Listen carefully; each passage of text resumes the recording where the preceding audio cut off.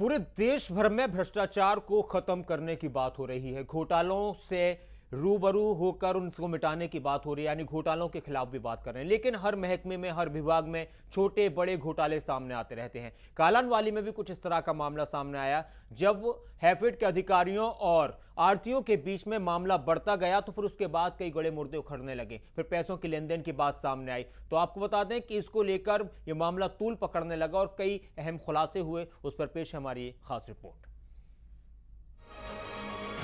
कहते हैं कि जब बात निकलती है तो दूर तलक जाती है। कुछ ऐसा ही हो रहा है। बात घूम रही है हैफेड, आड़ती और किसानों के बीच। मामला कालाम वाली का है, जहाँ आड़तियों के पिछले साल के गेहूँ की हैफेड की तरफ़ से रोकी गई करीब 25 लाख की राशि का विवाद इतना पनप गया कि हैफेड के अधिकारियों को बंधक बनाया गया और फिर कई गड़े मुर्दे बाहर निकले। लेकिन असली बात निकलकर आई सुविधा शुल्क की, जिसे रिश्वत भी कह सकते हैं। जो कि हैफेड के अधिकारियों को सुविधा शुल्क के रूप में आड़ती देते हैं। लेकिन इस बार आड़ती नाराज़ हैं और उनका कहना है कि सभी आड़ती प्रति कट्टा अस्सी पैसे के बजाय पचास पैसे इकट्ठा करेंगे और कर्मचारियों या अधिकारियों को देने के बजाय उन आड़तियों में बांट देंगे, जिन्हें हैफेड से पिछली बकाया राशि नहीं मिली है। खैर, मामला बढ़ता गया और इस मामले में सोसाइटी के चालक दर्शन सिंह और मिस्टर जावा का नाम सामने आया। जावा हैफेड के डीएम हैं और उन्हें पैसे देने के आरोप आड़तियों ने लगाए और उनकी निलंबन की मांग करने लगी। डीएम साहब भी दो आदमी सोसाइटी के हैं वो रिकमेंड डीएम साहब डीएम साहब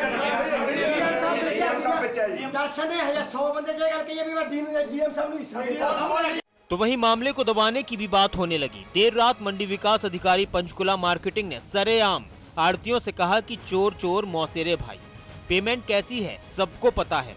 आपकी पेमेंट दिलवा देंगे और आप लोग इस बात को मत उछालो वरना हैफेड के एक दो अधिकारी सस्पेंड हो जाएँगे। क्यों?